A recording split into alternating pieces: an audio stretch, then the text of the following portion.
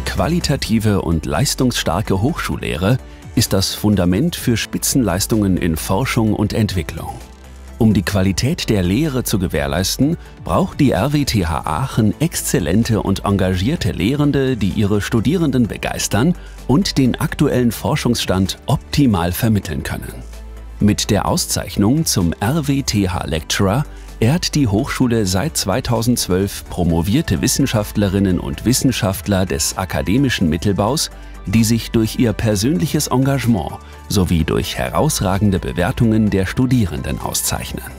2020 wird der RWTH Lecturer vergeben an Doktoringenieur Wen Wen Song, Lehrstuhl für Werkstofftechnik der Metalle und Institut für Eisenhüttenkunde.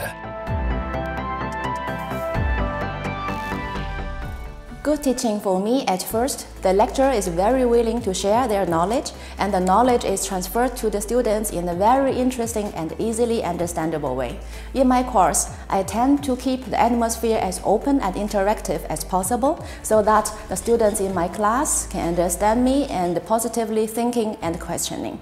One very interesting feature is that I would like to sit in the chairs of the students and feel what they feel.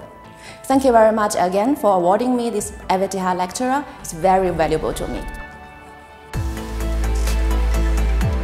Dr. Stefan Bettbuhr, Lehrstuhl für Statistik am Institut für Statistik und Wirtschaftsmathematik.